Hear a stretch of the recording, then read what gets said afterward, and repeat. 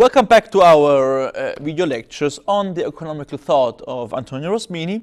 And uh, now in this uh, fifth and last uh, video lecture, now we, we will consider some, some last aspects and um, try to come to certain conclusions, also to uh, certain uh, conclusions about not only the interpretation of Hoevel on the philosophy of right on Rosmini, but also another recent interpretation of this work. Now, let's go on uh, with a certain order. In the last two video lectures, we have considered not only the roots of the ordoliberalists and uh, some elements in common with uh, the Rosminian idea of economics, but also the ambiguous position that Hegel assumes in this theoretical context. The interpretation of ethical life in reference to Hegel is not only clarificatory, but also dangerous. Indeed, it has to be underlined that the reference is only at the beginning of the philosophy of right, where Hegel affirms not against Kant, but in order to fulfill his theoretical novelties, the, the necessary social dimension of liberty and its guarantee by social institutions.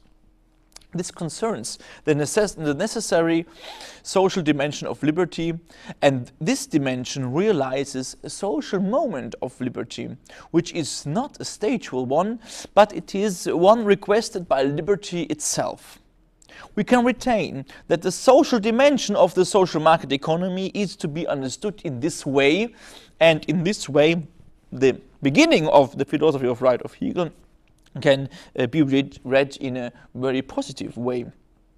Liberty requires itself in the continental, continental tradition recognition, and this recognition focuses on the other. Relationships and therefore minimal social relationships like society and for others also family or religion are constitutive for the realization of human liberty and dignity. They make sure that the social structure of liberty, of liberal society, is not only determined by concurrence, this is the concept of classical liberalism, is not only determined by cooperation, this is the concept of ordoliberalism, and it is not only determined by non-interference, this is the concept of libertarianism, but also by so solidarity. And here we have also the little difference between social market economy and ordoliberalism. This solidarity does not risk the liberal ground intention, only it does not risk it only if it is affirmed on the individual basis and not as a political issue. And this is the difficult point of social market economy. This is the difficult point uh, of a relationship also to certain thinkers. And, uh, um, and for this difficult point, which is today also discussion and which is also different than from uh, conceptions of welfare state and others. Uh, we have to be very carefully and I think uh, Rosmini can give us a good lecture uh, to be very exactly in this point. According to the fundamental principles of liberalism, this solidarity cannot be imposed against the individual freedom. It has to derive from the fact of liberty itself. Only in this way it is founded in the principle of liberty. Only in this way it is compatible with a liberal approach. Otherwise, not. Already the perspective of individual basic rights and liberties offers such a dimension because one must consider that the right and guarantee of life as the fundament of every subject for possessing anything and for pursuing his happiness includes one's physical subsistence. This dimension, indeed, is fundamentally common to Rosmini and the thinkers of social market economy. We uh, read in Röpke, who retains society as a mere association of individuals, which can be thought with the logical reason of the individual, is brought inevitably to the consequence that first, nothing can be tolerated in a society which is not the object of the clear conscience of the individual, Nothing which is the unplanned and unconscious result of enumerated singular acts as the price of steel or the interest on capital. And second, that human reason is enough not only to catch society as a whole and the economy, but also to conduct it according to a conscious plan in its entirety. With this last consequence, something curious has occurred in individualism, which is found in line with liberalism. Liberalism has eliminated itself and has become collectivism, which is still in the name of reason and the individual, but truthfully under the perversion of all the authentic and original ideals of liberalism. So we have in the social market economy conception not only the exigency that every social dimension, that every um, dimension of solidarity realized in society has to be founded in the individual rights approach, but also the consideration that without a minimal juridical affirmation of the dimension of solidarity, the liberal approach itself, the individualistic approach itself of liberty, would end uh, in a certain in certain in, in, in a certain anatomy, in a certain paradox. The society as relationship of individuals, which is constitutive for individual liberty and therefore are important, the institutions which are realizations of liberty in order to promote the development of the, relation, of the relational dimensions of liberty.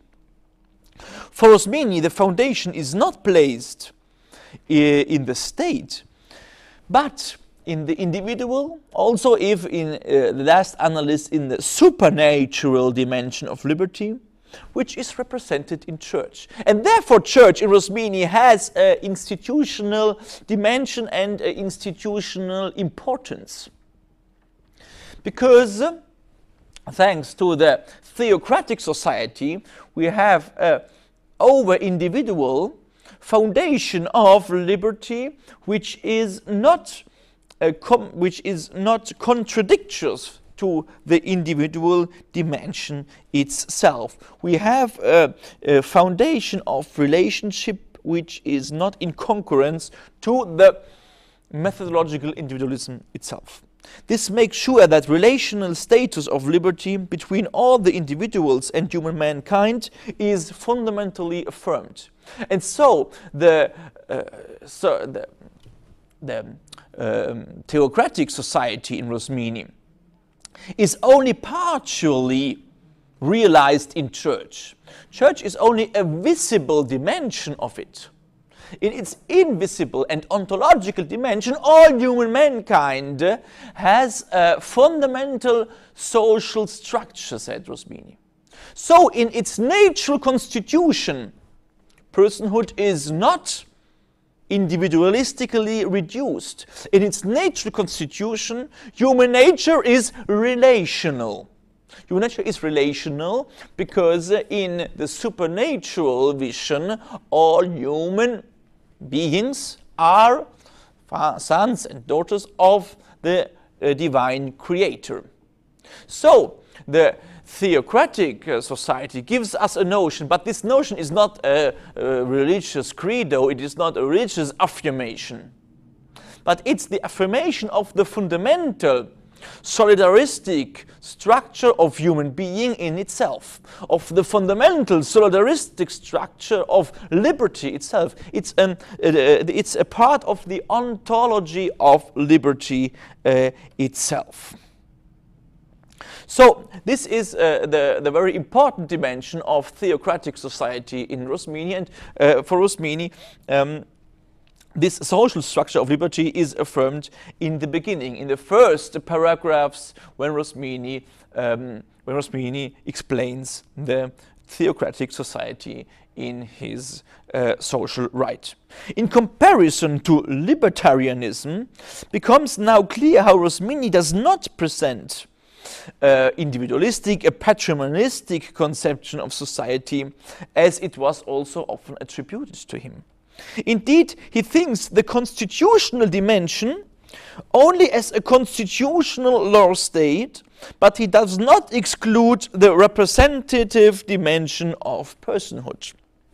Personhood has its, its, has its individual dimension, has its social uh, uh, relation, and uh, this structure of individual liberty um, is able to be represented uh, uh, in a constitutional way. Rosmini founds on this idea of liberty his idea of constitutional state. In this constitutional state, we have in Rosmini, without any doubt, uh, uh, um, um, uh, right of um, vote, a, so, a suffrage, which is only for people, for rich people, for people who have uh, individual property the indigents, uh, people who don't have individual property, cannot contribute democratically to the political, uh, uh, um, to the political sphere. But this does not mean that Rosmini has a patrimonialistic structure, and that in this patric- patrimonialistic structure, Rosmini would be similar, would be close to a libertarian conception, as uh, we see in um, the opinion of uh, Freeman, who who uh, comparized uh, um, the libertarianism also in a certain sense with feudalistic uh, structures. We have in Rosmini the representation more in a juridical way, not such in a direct uh, democratical way. And this juridical representation we have in the political tribune. The political tribune, without any doubt, uh, is also considered in uh, the book of Hoevel. Um, but not in this fundamental sense that a fundamental representation of person, of individual personship we have in the political tribune. And uh, the political tribune is voted by all. We have a universal suffrage on this politi political tribune. But now we cannot go very much in, deep, in a deeper analysis uh, of this um, concept, but we can consider also for actual dimension that a fundamental representative dimension we have also in the juridical conception of Rosmini. And we see that we have not a direct foundation of the democratic principle in Rosmini, but the democratic principle is represented in the juridical dimension. So Rosmini resolves things in the juridical dimension, many, many aspects, which then in, uh, in, in the following decades and in the following centuries, we, uh, we can say, uh, was uh, then declined uh, uh, with the principles of democracy and the, with the principles of solidarity. But Rosmini has this fundamental representation not only in the juridical sense of the political tribune, in this sense in, in which Hoevel sees rightly something uh, in Rosmini, but this we have also in the institution of church. The institution of church is not only an institution of private faith, of private benevolency, and of charity. Church has its juridical structure, its uh, institution, it's a social institution in the thinking of Rosmini about society and about the, so, the, the social realities. We cannot negate this fact. In, in Hoevel, we have a consideration of the church in the very actual sense in which church in liberal societies is co-located today. But we have not a, a very institutional consideration of the of the theocratical society uh, in Rosmini. Benevolence is uh, not only led to the liberty of the rich, it is not only, uh, in a certain sense, um, moral, uh, a moral appeal to the rich. It is not only a moral practical which the church does in confront to the rich. It is also institutionalized in the church's activity. Often we forget that church is the first and the most important particular society in Rosmini's philosophy of right. Whoever reads this book, also the social right, if we said in the first video lecture, in a moral point of view, in our actual point of view, aiming at the consideration of the civil society and leaving nearly beside the considerations of the other two societies, which for the comprehension of Rosmini's concept of right are almost more important. Therefore, it is an error in Rossevel's reading when he affirms that Rosmini interprets the social role of the church only as a moral and spiritual influence. And again, Hoevel says, it is reflected in his great work Delle Cinque Piaghe della Santa Chiesa, according to Rosmini, Christianity and the Church should not act directly as factors of power in the political and social scene, but indirectly through the spiritual, moral and cultural transformation. It is right that church does not di act directly in civil society, but it is, uh, it is subsidiarily um, in, a, in, a, relationship of subsidiarity with uh, the civil society, or uh, better, better said, vice versa. Civil society is in a subsidiarity relationship to the other two types of society. And we don't have to forget this important factor. So we cannot read the church, the theocratical society in Rosmini, only in a moral or spiritual way. We have to read it in an institutional way. According to Hoevel, beneficence can be realized for Rosmini only by indirect influence of the ecclesiastical society as a love communion. And Hoevel said, if beneficence is not something of a state nature, but a right of the heart, which cannot be usurped or imposed, either by external law or by force, it is therefore by nature an eminently ecclesial thing.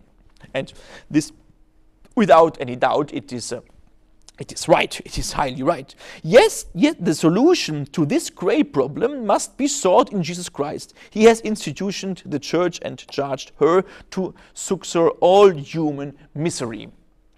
Also, this is right, but it's only right to the half, because on the other half, uh, the church remains social re uh, reality, and not only a social reality, but a socially instituted reality. And so the institutional point of view which we considered not very much present in uh, uh, lecture of Rosmini's thought, uh, here becomes indeed very important because the relationships between the three societies, we can only think of institutional relationships. And these institutional relationships are not institutional relationships as we think today about civil society, of church, of family, as uh, non-political actors. For Rosmini, they are also, in a certain way, political actors, uh, but in a horizontal, um, subsidiary way, um, all the three societies as different spheres of justice constitutes together, constitute together the social sphere. And so we have a sphere of uh, uh, a sphere of civil society, but also the other spheres are juridically regulated, and as juridically regulated, they are institutions. Again, it becomes clear that every reading of Rosmini in a nowadays perspective risks to reduce it to what we today intend with civil society.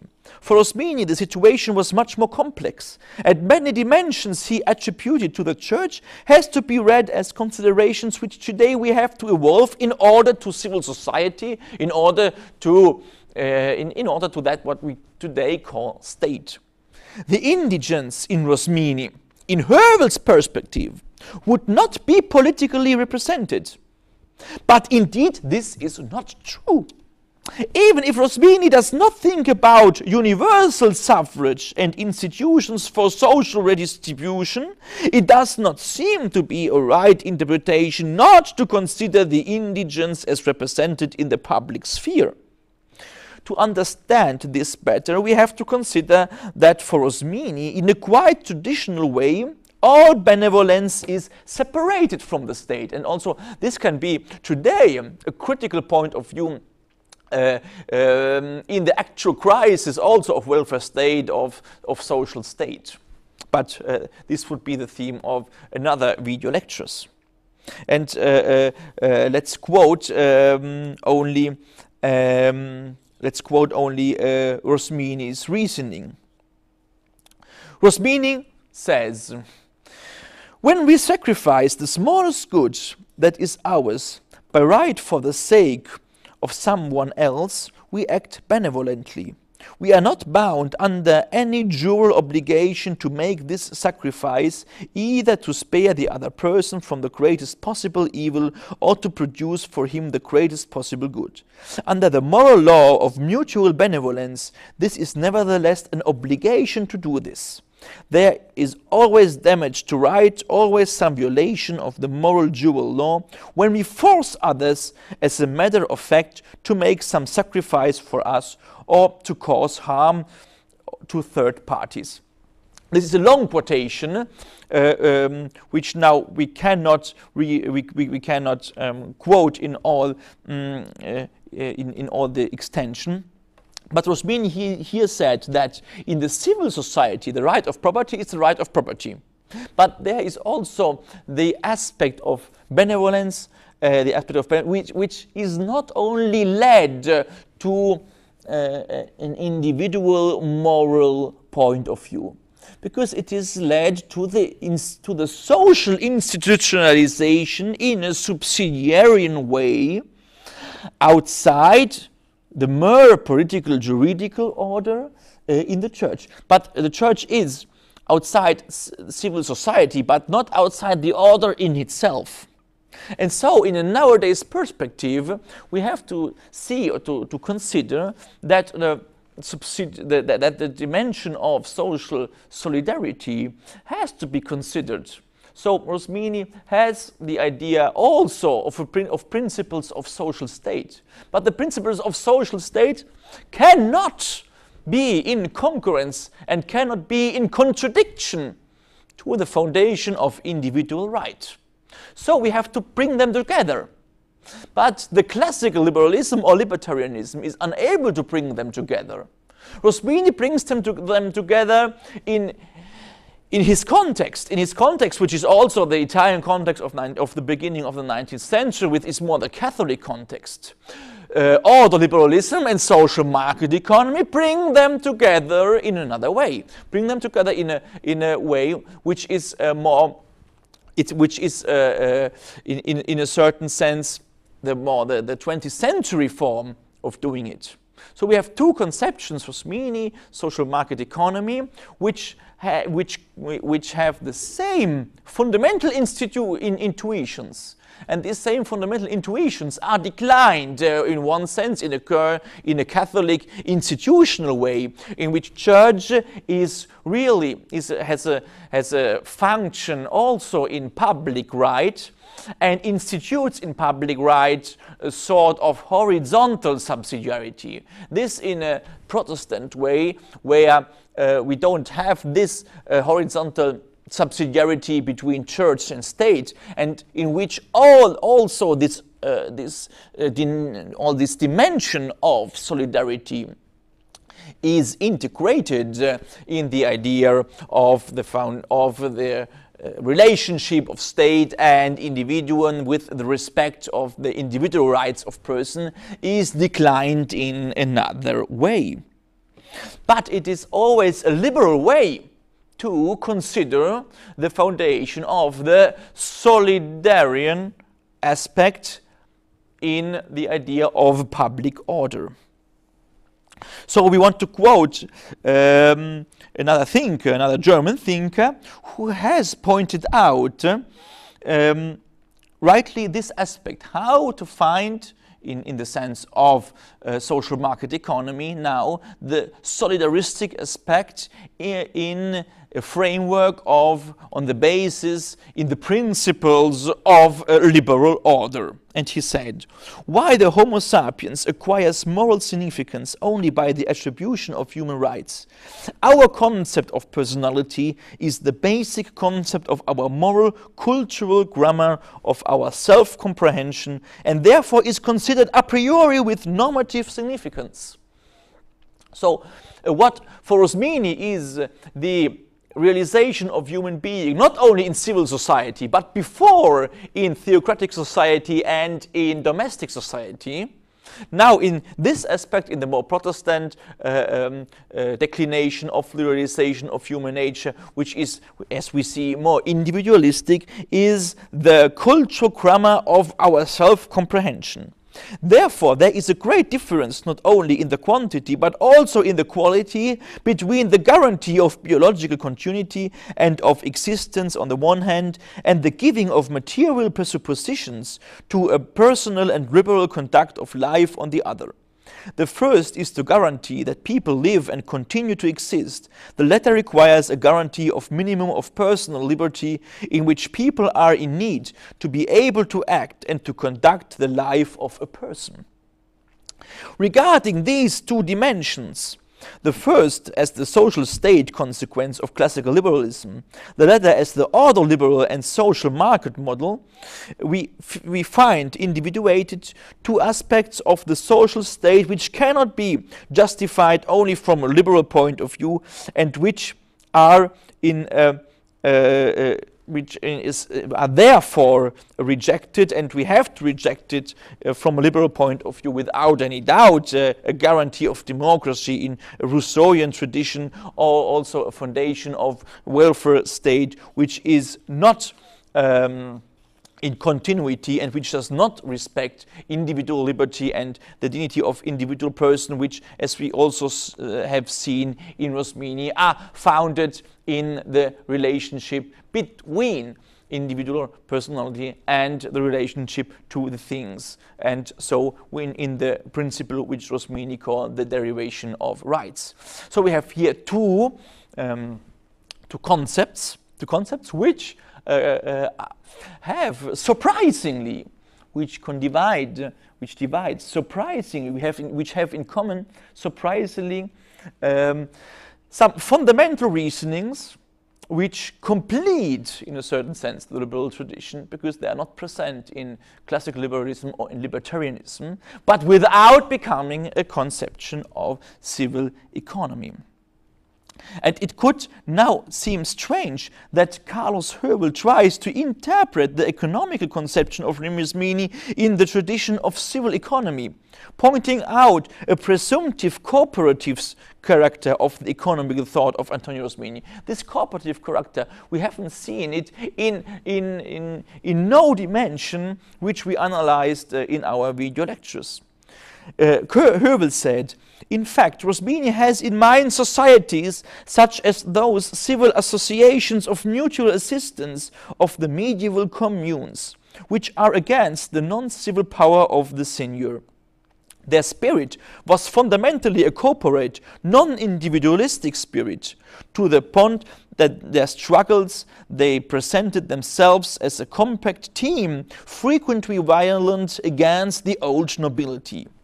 Then he proceeds, always Hoevel. Through these unions, the associations establish a series of common rights which the, with, with the aim of defending and potentializing them much better than if they were to exercise them separately. In this sense, Rosmini is not thinking of civil society in the liberal French fashion. This is without any doubt true that is as the product of a state that erupts into the civitas or the medieval commune in order to create rights and freedoms. We see here always the interpretation of Rosmini inserting them in a tradition, the medieval uh, Renaissancemental um, civil economy tradition. I see Rosmini very, very much as a predecessor, as an anticipator, as a prophet of fundamental intuitions of ordoliberalism and social uh, market economy. The civil society would be, says Hoevel, an, an association of associations. So we have not the liberal aspect of civil society, which means that civil society is many individuals together on the basis of individual rights, not associations of associations. Therefore, it is not interpreted as the convergence of individual wills and therefore on the basis of individual rights, but as the association of associations. And these would be, as Hoevel expressly says, the families. Now I retain that here lies a fundamental misunderstanding in the interpretation of the social thought of Antonio Rosmini. Indeed, Rosmini says that the society is the convergence of families. But in society, do not does not rule the family's relationship, but the social relationships which is artificial and not natural. Rosmini says, yeah, we have in the social in society together uh, uh, the association of families. But which rule rules in society? It does not rule the rule of family. It rules the rule of person. Because the rule of family, says Rosmini, is always the rule of family egoism. It is always a rule of a solidarity which is confined in the, in the interior dimension of family. If we have, an if we have a society as an association of families, we won't have in any time a real common good. But family, because families are thinking for their own good. And this was Winnie seed very well. And he seed it also for political parties and, and other institutions. So the real common good we have only on the basis of, of the recognition of individual fundamental uh, rights. If Rosmini himself distinguishes a natural association from an artificial one, how can we directly affirm a fundamental identity between both? It seems that Rosmini wanted to stress the divergency, not the comparability of family and civil society. No, I said uh, uh, dom domestic and theocratical society as moral institutions, as a moral expression of mm, human uh, person, of the nature of the, the dimension of perfection of human uh, person. No? But civil society is subsidiary, subsidiarily um, the affirmation of individual rights. Therefore, Hoevel comes closer to Rosmini's intention if he sees the social associations as little realizations of civil society. Yes, we can see all the social associations as little realizations of civil societies. So that also all social associations, the firms, the companies, but also political parties, but also spontaneous associations, have to respect always individuals, have to respect, respect always individual rights. They cannot establish a common good which would harm individual rights. But not so the associations as little civil societies, but not the civil society as, as association of associations.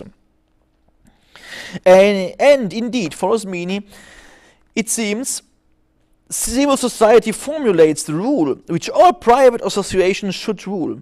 But these rules are based on the idea that common good is related to individual right and not vice versa. For Rosmini, it is unthinkable that in the name of common good, individual rights could be neglected. Only for the latter ones, not for the first one, is it possible to appeal to the political tribune. And so for the universal representative dimension of person in society. So we have not a personalization of society, but we have the universal respect of person in society through political tribune. Significantly, Hoevel does not prove much these considerations, his considerations which we now criticized with quotations from Rosmini's text. And in the unique quotation in these pages, in the footnote 18 on page 220, Rosmini affirms quite the opposite of what Hoevel affirms. Here indeed defines the state as a union of families, but under the condition that the rights of every individual and of every family are protected and regulated, and that these rights have to be exercised without collisions. Now, perhaps Hoevel sees in this affirmation on the fundamental importance of family an indication for cooperative structures. But we don't have to forget that Rosmini, beyond his great consideration of family for its private relationships in contrariety to the political relationships in civil society, also warns of the egoism which these private structures can produce. Every private structure has this vice, from families to political parties. Rosmini recurs to the universal principle of personhood as unique remedial for the danger of these egoisms which nourish the common good, which is not the common good of the family or the state, but of the whole mankind. Only a common good of the whole mankind is a real common good, says Rosmini. This consideration, taken by Hoevel to prove definitively the civil economic character of Rosmini's thought, in reality affirms another time the, centrally, the centrality of individual personhood and the closeness to the conception of ordoliberalism. This dimension is even clearly stated by Hoevel when he says, Therefore, to the Roveretian, it is necessary that national societies and economies should be regulated in, the, in some way by a universal society. This is what Hoevel says, but this affirmation remains without any critical consideration. This would be a consideration which associated Rosmini more to the ordoliberalists and not to the civil economy tradition. Hoevel indeed affirms Rosmini agrees with the Italian civil economist philosophers who, as from Vico and Doria, consider that economic interests do not self-regulate, but the mere invisible hand of the market, by the mere invisible hand of the market, but that they require regulation by civil society. This affirmation, in its contents, without any doubt, is a just interpretation of Rosmini's thought, but it doesn't prove the appartenance of civil economy approaches, but as we have seen, it is also a central argument of social market economy. This becomes even more clear when Hoevel affirms immediately, in effect, according to Rosmini, the way to achieve larger production and a fairer distribution of wealth is certainly that of a market where the interchange between individual interests play a leading role, although always within the rules of ethics and the law. What Hoevel retains an argument for civil economy is in reality the proof of Rosmini's liberalism as anticipator of the other liberal concept. And if he claims then that ethical individual virtues better than social virtues would be better than social virtues, this argument would be even openly against civil economy model as Hoevel himself recognizes. The distinction which in our consideration we required now against Hoevel, the distinction between the moral perspective and the uh, liberal perspective, so between the moral and the juridical sphere, and which Hoevel overcame in the reduction of the constitutional sphere to the morality of concrete economic action, therefore an, his anti-program to the libertarian conception, was superated also by the interpretation of the philosophy of right by Francesco Petrillo. We see that in The Economist, Hoevel tends to a moralization, and the jurist Petrillo aims to a juridicalization of Rosmini's philosophy of right. So we have the last two great interpretations of this central work of Antonio Rosmini, the last two books on this work, uh, present two significant reductionisms of uh, the idea of in Antonio Rosmini we have always the reduction of the distinction, of the precise distinction of the moral foundation and of the juridical institutions. Hoevel reduces them to the moral aspect. Petrillo reduces them to the institutional aspect of liberty without considering anymore the relationship of the juridical uh, uh, uh, institutions to the moral dimension, the moral dimension of personhood, which in Rosmini, without any doubt, is present. We stated against Hoevel that only after the moral definition of right, the juridical science begins with the definition of juridical duty, which is the respect for the moral liberty which is expressed in the right. But for Petrillo now, the last element of the definition of right is itself the juridical duty which is cognitively determinable on the basis of the conoscibility of liberty. This identification is therefore the opposite identification respect to Hoevel. Uh, so Petrillo reduces all the juridical dimension, the institutional dimension, on the dimension that we have a cognitive aspect of liberty. So reduced to the cognitive aspect, and in this reduction to the cognitive aspect, we lose the moral dimension, the moral dimension of person. But we, see we have seen before that the, uh, the structure of recognition, the fundamental structure of recognition, which is the founding of liberty and so of individual rights in Rosmini, it is not merely cognitive. It is recognitive. It is moral. It is respect. It is the practical recognition. And so we cannot, with Petrillo, reduce all the sphere of liberty to its cognitive aspect, to its juridical aspect. In this dimension, Hoevel would be right against Petrillo.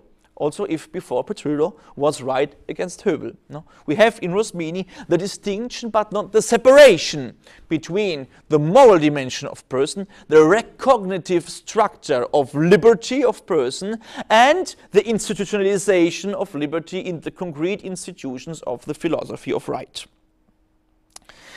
Rosmini does not admit any of these identifications.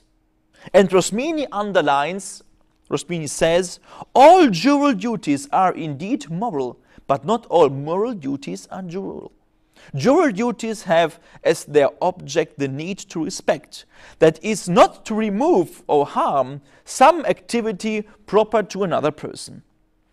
Therefore, it does not seem correct to affirm that it is not only morality, or better, it is probably not morality, which founds the recognition of rights. This is a, a sentence of Petrillo. It is not morality which founds recognition of rights. No, it is, it is morality which found recognition of rights, but it is not uh, reducible to morality. And Petrillo then says, but it would be rather the conscience understood as cognition. Here we have the reduction no, to the mere cognitive dimension of liberty in Petrillo. Rosmini does not reduce the right to the moral action, nor he assigns only to the right the recognitive structure of interpersonal relationship. The liberal perspective of Rosmini affirms itself in the middle of both and here we have the right middle, not the middle, the moral middle affirmed by Hoevel, no? Not the, the middle in the result, no? The middle in the principles, the middle in the principles which is the distinction but not the separation between liberty and moral recognition. It is not morality and therefore a sort of non-cognitivistic affirmation of individual liberty, and it is not the cognitivistic affirmation of liberty which would destroy individual autonomy and give to the state a cognitive dimension which was rightly negated by Hayek. In this aspect, Rosmini would be very uh, uh, would be uh, uh would be underline this affirmation of Hayek. Rosmini's liberalism is anti-perfectivistic in both matters, morally as well as socially, without negating the importance nor of the moral neither of the moral dimension nor of the social one. This is the specific affirmation of human dignity by Rosmini, which recurs only in the ordo-liberal tradition. So we have another proof uh, that Rosmini is a very prophet, a very anticipator of the ordo-liberal tradition. This means probably properly a, Rosmini argu Rosminian argument for not considering anymore this concept, the concept also of ordo-liberalism, of social market economy, not only a German model. This interpretation that we find in Rosmini, a real anticipator of this model, shows us that it is also an error to consider this model as uh, uh, as uh, globally it is considered a German model, but to propose its principles as possible remedies against the actual crisis. The Rosmini reading of ordoliberalism and social market economy can have also this positive output to see in this model not only a national or a regionally limited uh, conception, but a real universal conception based on uh, rethinking, on a new foundation, on a, on a new declination of what liberty is, on a new moral and juridical consideration of liberty to rethink our concrete social structures in the actual crisis. And with these considerations, I thank you very much for your attention and uh, uh, for to and for have uh, um, listened to all these five video uh, lectures about the economical thought of Antonio Rosmini. Thank you very much again and uh, till the next time.